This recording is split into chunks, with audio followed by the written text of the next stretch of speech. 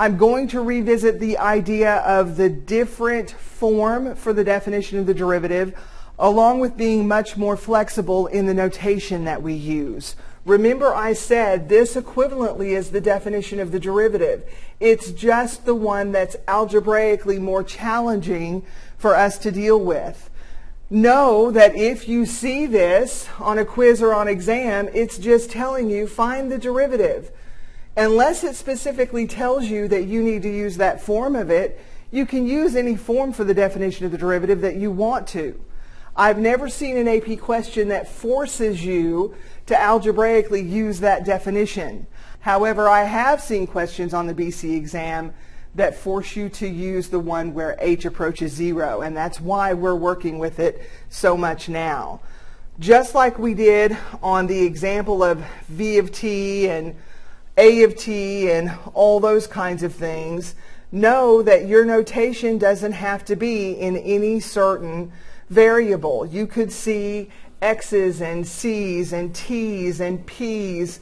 Be very flexible with your notation. These two, although they look different and use different variables, are still the slope of the tangent line at some input value of x.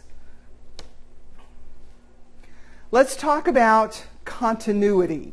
What does the derivative tell us about our function? Does it tell us whether our function is continuous or not? So we need to understand the fundamental idea that a derivative is the slope of the tangent line to a curve at a given point is really important to us. We agree that at some point, here we're calling it C, there has to be an output on the curve. There can't be a hole or a jump or a wiggle. Therefore, when we say f prime exists at C, f has to be continuous at C. The only way that the derivative can exist at some input value on a function is for the function to be defined there. So to be differentiable at some input value, automatically gives us continuity. If a function is differentiable at a point, it is continuous at that point. If the derivative exists, then the function is continuous.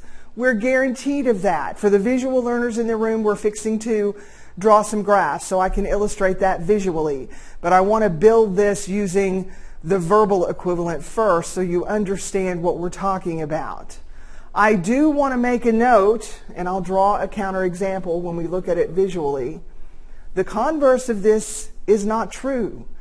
Just because a function is continuous does not mean it is differentiable. Let's put that in your notes. Just because a function is continuous everywhere.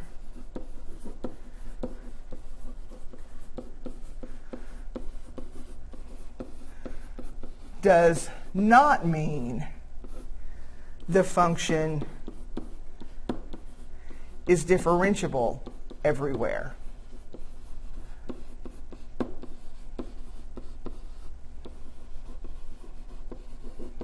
Differentiability gives us continuity.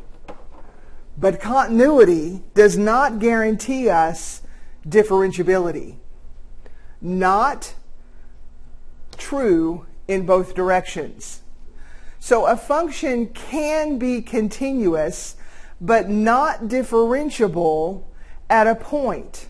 What we're looking for, for the derivative to exist, is a smooth and continuous function everywhere.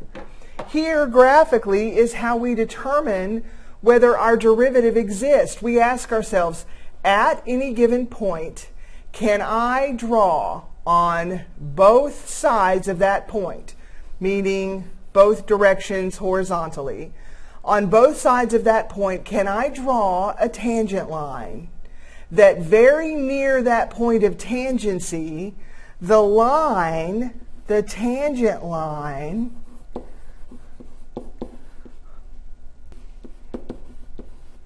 acts like the function near the point of tangency.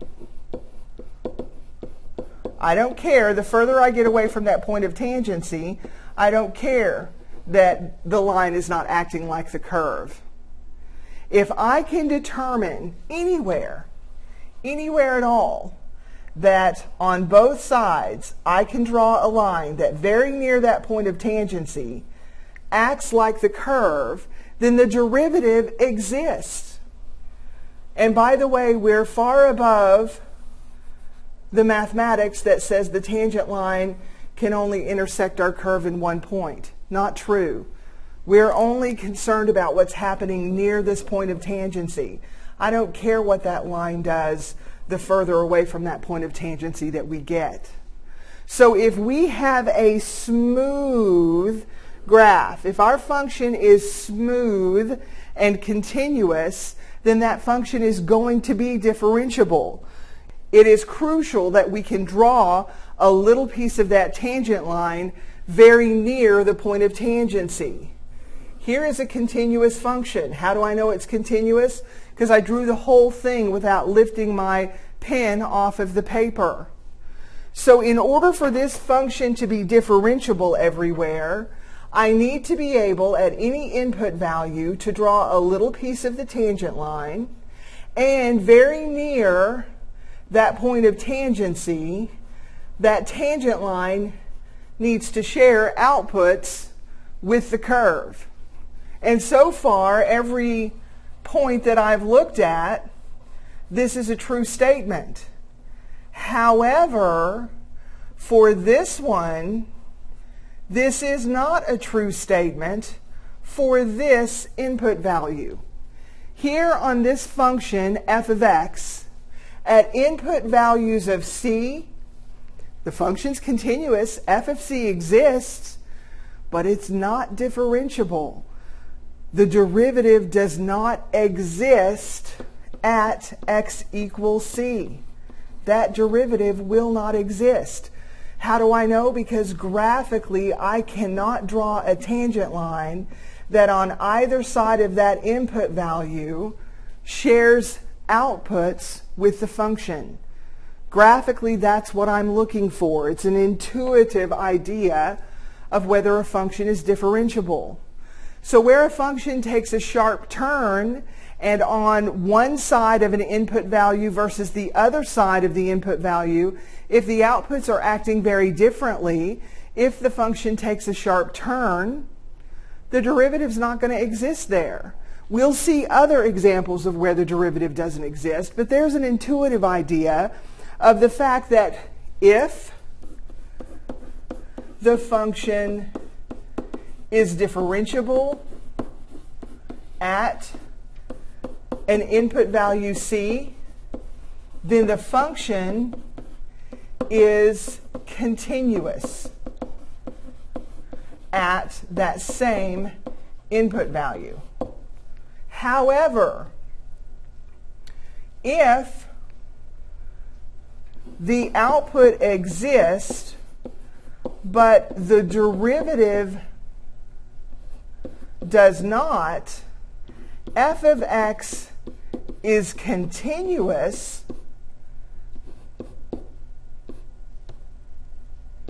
but not differentiable. So there's a visual example of how a function can be differentiable, therefore continuous, but just because a function is continuous doesn't mean that function is differentiable. Here's another type of problem that I've seen on the BC exam. The given limit is a derivative, but of what function and at what point? So this is saying this is the definition of the derivative. We need to find what f of x is, and we need to find the input value that this derivative is being evaluated at. So let's go back to the definition of the derivative. We have some function evaluated at x plus h minus some function evaluated at x all over h. So this is f of x plus h. This is f of x, specifically at a certain x value. Well, we can just look where the x's reside in the definition of our derivative, and we can clearly say that that's happening at x equal 5.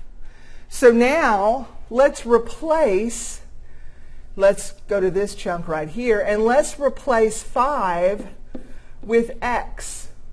Do you see that that's easily how we can find what the function was? So the function had to be 2x cubed, and the point at which the derivative is being evaluated is x equal 5.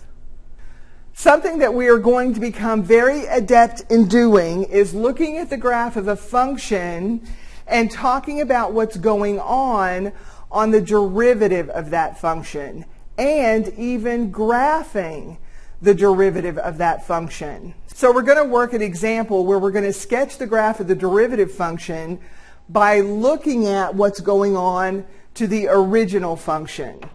So here's the original function. This is the graph of f of x.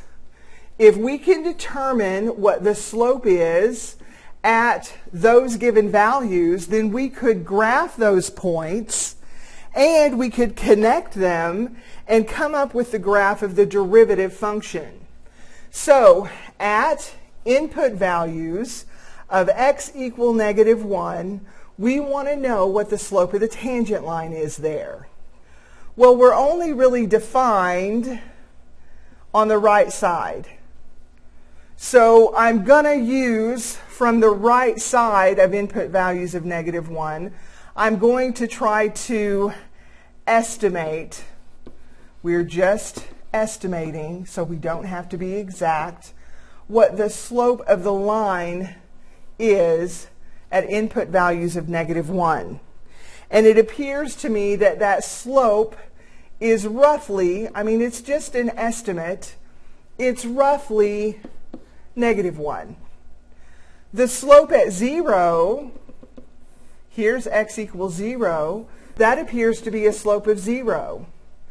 At input values of x equal 1, my tangent line would have roughly this curve. It's not exact, but it's approximately positive 1. At input values of 2, if that's the point on my curve, it appears that the slopes are once again 0. And at input values of 3, I have a negatively sloped line, but if this is a slope of negative 1, it looks like it's much steeper than that. So I'm not sure exactly what it is. I don't have way to, a way to exactly tell at this point. We'll call that negative 2.